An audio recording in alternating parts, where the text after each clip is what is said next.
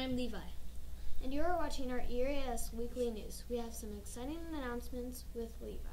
No school on March 21st through 22nd because of parent-teacher conferences. No school on March 25th to 29th for spring break. Now to Hendricks with the weather. Hey ERAS, this week's weather is going to be mostly sunny on Monday, mostly cloudy on Tuesday, and then it's going to be raining the rest of the week.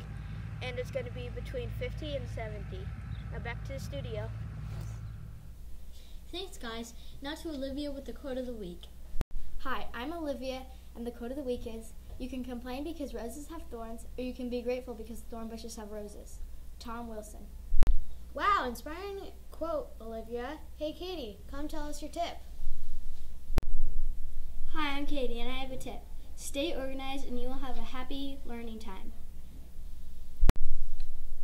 Great tip, Katie. We had a competition for the fourth and fifth graders to make a Flipgrid about what they think is best about Eagle Rock Elementary School. This is their Flipgrid. Hi, I'm Kelly. Today I'm going to be telling you why I love Eagle Rock Elementary School. I love the activities. Almost last week we had books and breakfast. Our families got to come by and visit our classroom. After books and breakfast, they planted very gorgeous flowers outside. And we and also we get to see Mount McLoughlin out the window. Also, all the staff and students are very nice. And here's the winner, Kelly, from Miss Rogers' room. Congratulations, Kelly. Thank you for choosing my video, guys. I love watching the newscast. Thank you for watching ERAS Weekly News. Stay positive and keep moving forward.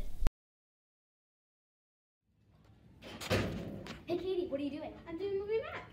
That's right. We have a MobyMax competition going on that started Monday the 18th and ends April 3rd. The top three winners from each class in the entire school will get to go on a bus trip with Mrs. Parsons. Well, I better go get on my MobyMax. Remember, have an awesome spring break, Eagle Rock.